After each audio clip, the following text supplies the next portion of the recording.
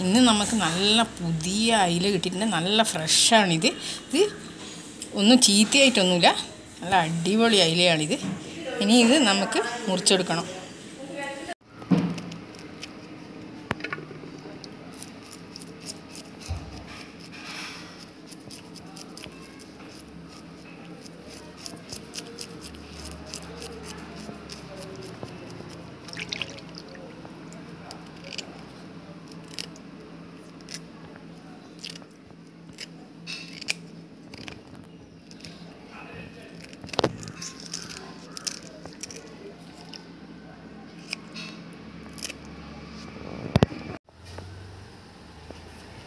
ഇത് നമ്മൾ ഇന്നലെ തറവാട്ടിൽ പോയി കഴിഞ്ഞ് നല്ല വലിയ കൊലയാണിത്. ഇത് അടക്കപ്പൂവനാണെന്ന് പറയുന്നത്.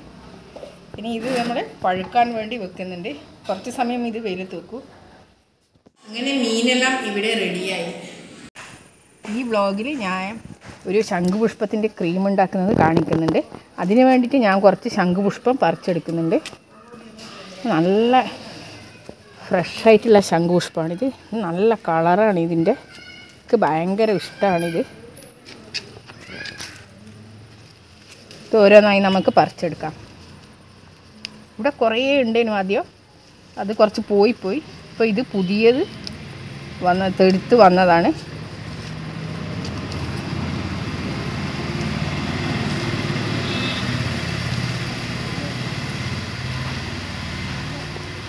ഈ ശംഖുപുഷ്പം എന്ന് പറയുന്നത് നല്ല എന്താ പറയണ്ടേ നല്ല ഹെൽത്തിയാണിത് ഇത് കണ്ണിന്റെ കാഴ്ചക്കും പറ്റും. അതേപോലെ ഷുഗറുള്ളാൾക്ക് ഇത് കുറയാൻ വേണ്ടിയിട്ടും ഇതിന്റെ വെള്ളം ഉപയോഗിക്കും.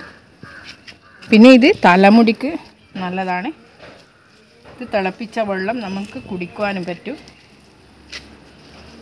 ഇത് തിളപ്പിച്ചിട്ട് തണിഞ്ഞിട്ടാണ് നമ്മൾ കുടിക്കേണ്ടത്. ഇതിന്റെ കളറാണ് നല്ല അടിപൊളി കളറ് നല്ല നീല കളറാണിത്. കാണാൻ തന്നെ നല്ല ഭംഗിയാണ് ഇതിന് അങ്ങനെയെല്ലാം നമ്മൾ പറിച്ചെടുത്തിട്ടുണ്ട്. ഇത്രയും ശംഖുപുഷ്പമാണ് എനിക്ക് കിട്ടിയത്. ഇനി ഇത് ഞാൻ പിന്നെ ക്രീം ഉണ്ടാക്കുന്നത് നിങ്ങൾക്ക് കാണിക്കുന്നുണ്ട്. നല്ല അടിപൊളി ക്രീമാണിത് മുഖം നല്ല ഗ്ലോ ആവും. ഇത് തേച്ച് കഴിഞ്ഞാൽ തന്നെ നല്ല അടിപൊളി പൂവാണിത്. ക്രീം ഉണ്ടാക്കാൻ വേണ്ടി ഞാനിവിടെ കുറച്ച് ശംഖുപുഷ്പം എടുത്തിട്ടുണ്ട്. ഇനി ഇവിടെ ഞാൻ കുറച്ച് തിളച്ച വെള്ളവും എടുത്തിട്ടുണ്ട്. ഇനി ഇതിലേക്ക് നമ്മൾക്ക് ഈ പൂവ് ഇട്ട് കൊടുക്കണം. അങ്ങനെ ഇതെല്ലാം ഇട്ട് കൊടുത്തിട്ടുണ്ട്. ഇനി ഇത് കുറച്ച് സമയം വെക്കണം. അതിനുശേഷം ഇത് നല്ല കളറായിട്ട് വരും. ഇതൊന്ന് ഒരു സ്പൂൺ കൊണ്ട് മിക്സാക്കി കൊടുക്കണം. ഇനി ഇത് നമുക്ക് മൂടി വെക്കാം. അങ്ങനെ നമ്മുടെ ശംഖുപുഷ്പം ഇട്ട വെള്ളം ഇവിടെ റെഡിയായിട്ടുണ്ട് നല്ല നീല കളറായി വന്നിട്ടുണ്ട്. ഇനി ഈ പൂവ് ഇതിൽ നിന്ന് നന്നായി പിഴിഞ്ഞെടുക്കാം. അങ്ങനെ ഇത് നന്നായി പിഴിഞ്ഞെടുത്തിട്ടുണ്ട്. ഇനി ഇത് നമുക്കൊന്ന് ഒരു അരിപ്പ വെച്ചിട്ട് അരിച്ചെടുക്കണം.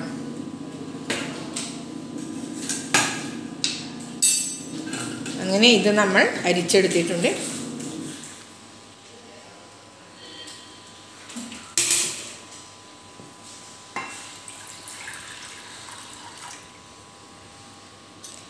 ഇനി ഒരു പാത്രത്തിലേക്ക് ഞാൻ കുറച്ച്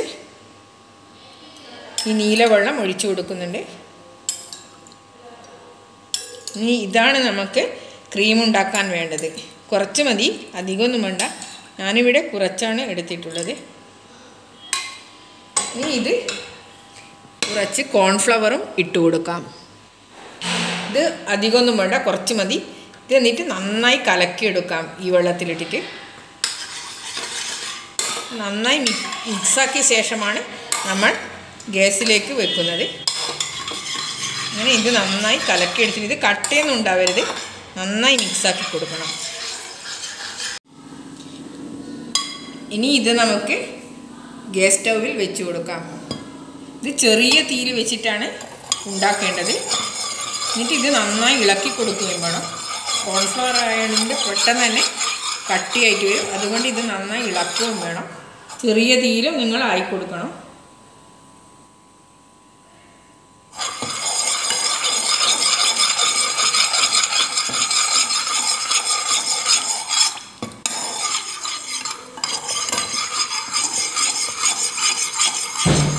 ഇത് നന്നായി കട്ടിയായിട്ട് വരുന്നുണ്ട്. ഇത് നിങ്ങൾ കൈവിടാതെ ഇളക്കി കൊടുക്കണം.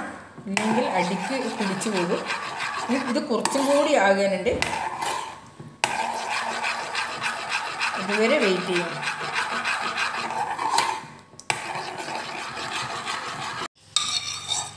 അങ്ങനെ നമ്മുടെ ശംഖുപുഷ്പം കൊണ്ടുള്ള ഫേസ് ക്രീം ഇവിടെ റെഡി ആയിട്ടുണ്ട്.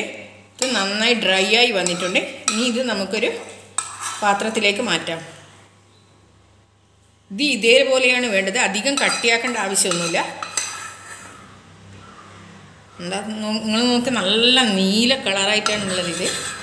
ഇത് നിങ്ങൾക്ക് രാത്രി കിടക്കുന്നതിന് മുമ്പ് പുരട്ടിയിട്ട് കിടന്നാൽ മതി. നല്ല അടിപൊളിയായിട്ടുള്ള ഫേസ് ക്രീമാണിത്. അതേപോലെ അതുകൊണ്ടുള്ള ശംഖുപുഷ്പം കൊണ്ടുള്ള ഡ്രിങ്കും ഇവിടെ റെഡിയായിട്ടുണ്ട് ഇത് നമ്മൾക്ക് ഹെയറിലും ഉപയോഗിക്കാം.